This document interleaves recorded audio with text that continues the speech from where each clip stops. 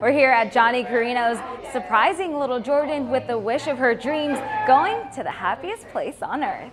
It's been a difficult journey for this family, but this year all their wishes came true when Jordan's doctor confirmed she was cancer free. It'll be about three years when we actually go to Disney, and it's actually kind of it's made us appreciate things a lot. Um, so this will be just yes, it is definitely a light at the end of the tunnel and something to really look forward to.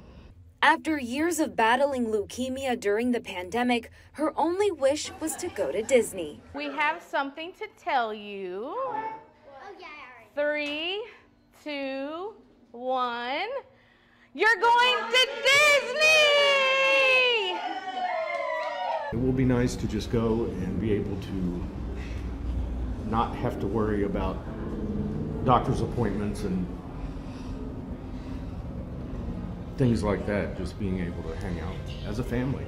A Wish with Wings celebrates 40 years this April of making kiddos' wishes come true. It's such a special place because, you know, you can always say, oh, you know, what do you wish for? What's your wish? Eh, but here, like, it's, it's actually coming true. Hey, Jordan, guess what just opened?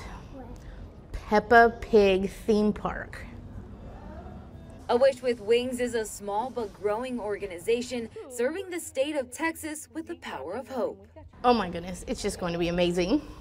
She's a very happy kid anyways, but she's just, I can't, I, I can't wait to see the look on all of their faces when they see just the magic of Disney.